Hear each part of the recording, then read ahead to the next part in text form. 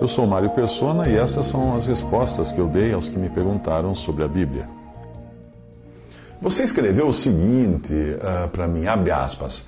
Não existe justificativa para que você, ao considerar que ninguém tem condições de cumprir toda a lei para alcançar a estatura do Senhor Jesus Cristo, estimule as pessoas a não buscar praticar a lei de Deus. Fecha aspas. Sim, existe sim justificativa. E ela é ensinada depois da morte e ressurreição de Jesus na doutrina dos apóstolos. Além disso, é importante saber que você, uh, o, o que você considera como estímulo. Para o israelita, o estímulo para cumprir a lei estava em evitar a pena, era o medo do juízo. E também o outro estímulo era receber bênção. Nos dois casos, o estímulo apelava para o egoísmo humano seguir a Deus para não ser condenado ou então para ser abençoado. Porém, não é isso que move o cristão a fazer a vontade do Pai, mas sim a gratidão de ter sido salvo. O cristão não precisa temer a condenação, porque ela já foi resolvida por Jesus na cruz. Deus seria injusto se ele condenasse alguém cuja pena Jesus já, já pagou. E o cristão não precisa obedecer para ganhar bênção, porque ele já foi abençoado por todas as bênçãos espirituais nos lugares celestiais em Cristo Jesus, como fala em Efésios capítulo 1. O verdadeiro estímulo de uma pessoa realmente convertida é a gratidão. É o constrangimento de obedecer a Deus, não para evitar o castigo ou ganhar o prêmio, mas pelo que Ele é e pelo que Ele fez. Vamos considerar alguns aspectos da lei, nós estamos falando aqui da lei mosaica, né, dada no Antigo Testamento. Primeiro, a lei completa não são apenas os dez mandamentos, mas são todos os mandamentos cerimoniais encontrados nos capítulos 20 a 31 de Êxodo e também em Levítico e Deuteronômio. Os dez mandamentos mostram apenas a essência da lei. Nenhum cristão hoje vai a Jerusalém adorar, e esta era uma exigência da lei, de adorar no lugar que Deus escolheria para o seu povo mais tarde, ou seja, Jerusalém. Ela tem aqui lá. Segundo, a lei não foi dada como meio de salvação. Portanto, ninguém pode ser justificado pela prática da lei. Isso é, é bem explicado em Atos 13, 39, em Romanos 3, 20, em Gálatas 2, 16 a 21 e em Gálatas 3, 11. Terceiro, a função da lei era de revelar o pecado, de trazer o pecado à tona.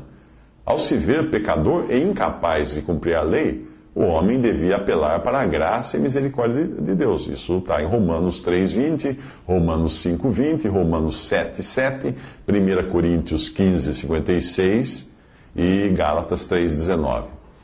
Quarto, Deus deu a lei a Israel como uma espécie de balão de ensaio para provar que toda a humanidade é pecadora é culpada, é incapaz de atingir os padrões exigidos por Deus.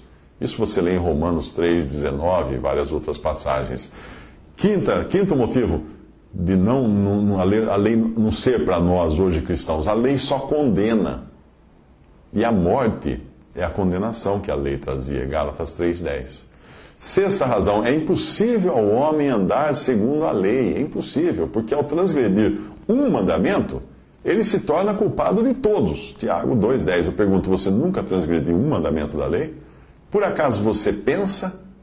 Você cobiça? Então, já, já transgrediu a lei, porque a lei fala de cobiçar, não cobiçarás. Cobiçou, transgrediu a lei. Transgrediu a lei. Uh, sétimo, aquele que crê em Jesus não está sob a lei, mas está sob a graça, porque Jesus veio pagar a pena, a morte que era exigida contra o pecador ou transgressor da lei, Cristo recebeu essa morte. Ele pagou isso no lugar daquele que crê nele, para que o que crê fique livre de pagar essa pena. Romanos 6,14, já foi pago. Oitava, oitava razão, a lei serviu apenas de tutor, ou aio, ou babá para o homem, para conduzi-lo a Cristo. Porém, quando ele já tem a Cristo, ele não precisa mais desse tutor, não precisa mais dessa babá. Gálatas 3, 24 a 25 explica isso. Nona, Nona razão. Embora o cristão não esteja sob a lei do Antigo Testamento, ele está agora sob a lei de Cristo. Uh, Lembre-se que a lei dizia para não matar ou adulterar, enquanto Jesus disse para nem mesmo pensar em matar ou adulterar. 1 Coríntios 9, 21. Uh, décima, décima razão, ele, o, o cristão, se comporta hoje para agradar a Deus não por medo do castigo, mas por gratidão e pelo desejo de agradar seu Salvador. O seu padrão agora não é mais os dez mandamentos, que podem servir de, de, de princípios para ele, mas o seu padrão é a própria pessoa de Cristo. João 13, 15 fala isso, João 15, 12, Efésios 5, de 1 a 2, 1 João 2, 6, 1 João 3, 16. Décima primeira razão é que você encontra no Novo Testamento nove dos dez mandamentos apresentados como preceitos morais para serem imitados e não como lei. Ou seja, não há uma pena de morte para o descumprimento, como era o caso da lei de Moisés. Se descumpria, você tinha que ser morto. Não guardou sábado, tinha que ser apedrejado. Nesse sentido, toda então, então nós vamos jogar fora a lei, o Antigo Testamento? Não. Porque nesse sentido, toda a escritura é proveitosa para o cristão, para o seu ensino, a demonstração, etc. Segundo Timóteo 3,16. Mas nunca como lei. Percebe? O único mandamento que não aparece no Novo Testamento é o mandamento da guarda do sábado. Você não encontra. Na doutrina dos apóstolos, o cristão nunca é ensinado a guardar o sábado. Décima segunda razão, a lei continua valendo na sua finalidade de revelar que o homem é pecador. Mas isso é para o incrédulo e não para o crente.